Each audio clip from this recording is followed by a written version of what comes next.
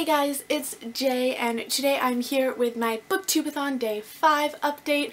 Look guys, I'm actually doing an update, yay! And I actually did a challenge, again, yay!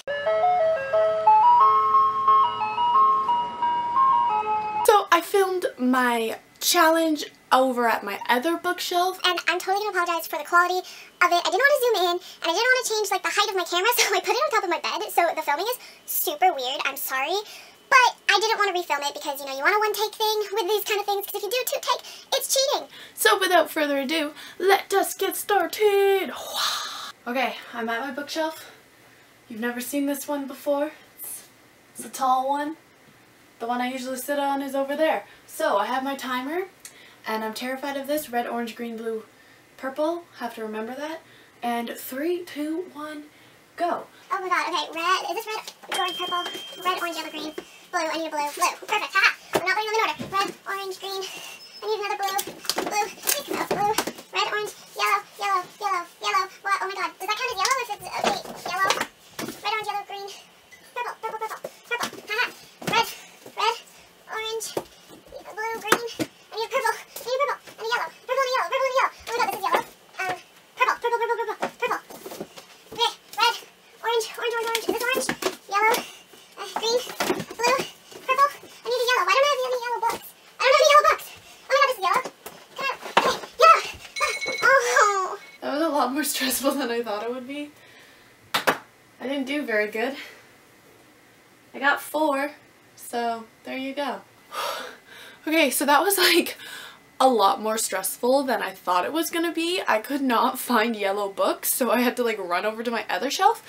But I got four stacks, so I mean, I'm feeling kind of accomplished with that. The shelf that I used is my like series shelf, which is where I put all my series. So I basically just use the same series for every stack. And I don't know if that's technically cheating, but we're gonna go with it. My first stack is here.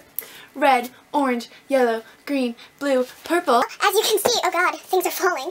But as you can see, three of the books are from the same series. Oh, well, that's how things work out with Jayanne when she tries to do challenges. She kind of cheats. Is that cheating? I don't know. But there's one stack. Second stack. Red, orange, yellow, green, blue, purple. As you can see, two Vampire Academy books. It's not cheating. Whatever. It counts. Number three. Red, orange, yellow, green, blue, purple. As you can see, three of them are from the Chronicles of Nick series. It's gonna count. Whatever. I, like, basically could have used the Chronicles of Nick series for every single one. And then number four is red, orange, yellow, green, blue, purple. Two of them are from the same series again. Oh, and Insurgent and Allegiant. So, you know, is that cheating? Tell me in the comments below. But I did a challenge, which is what I said I would do, so you should all be proud of me. Oh, thank you. On to the reading update. Which has not really changed since the last video. I am 274 pages into Clockwork Angel. Still loving it, still loving Will, and still loving Jem, still loving Tessa. Shit just went down, and it was awesome, and now it's kind of calm again, so I'm hoping that more action takes place soon. I'm hoping to finish it tonight because I don't have work at all this weekend. So, hopefully, fingers crossed, it's gonna happen. Except I have football all day tomorrow, and my boyfriend's coming over, so I'm probably not gonna read. This was a terrible week for me for Booktubeathon. And then I am 174 pages into The Lovely Bones by Alice Sebold. I'm listening to this on audiobook and I'm really liking it. It's actually the author who's reading it and I just think that that's really cool when authors read their own books. I don't know, maybe it's just me, but I'm loving this. I'm probably going to give it a 4 out of 5 stars. I still have like half the book, but far so good. So far so good. Alright guys, so that was my day 5 reading update and challenge. I will see you all in my next video.